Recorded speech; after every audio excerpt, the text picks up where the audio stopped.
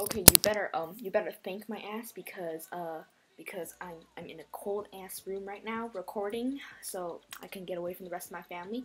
Okay, you see, you first have to uh make the liner. Uh, oh fuck. You have to uh make the liner. You see, it's a lovely circle and uh, uh do, whatever you please. So um and then you make a layer under it. That's the that, that, that, that, that, that's the colors.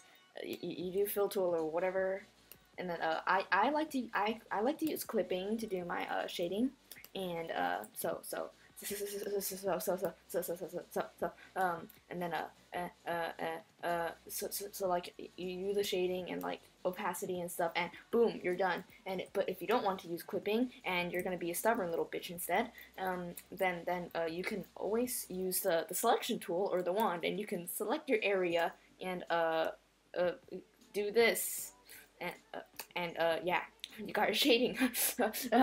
I